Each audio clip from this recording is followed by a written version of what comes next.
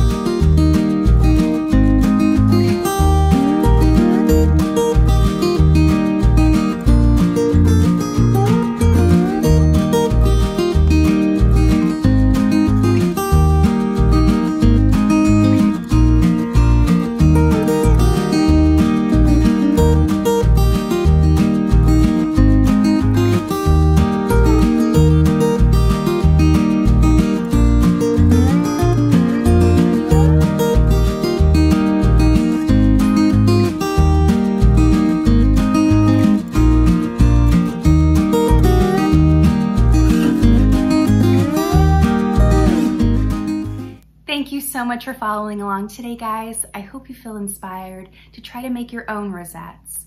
If you want to see more simple DIYs and tutorials, then please check out my blog, countrypeony.com. Or feel free to follow me on Facebook or Instagram at The Country Peony. I'd love to have you there. Until next time, happy crafting.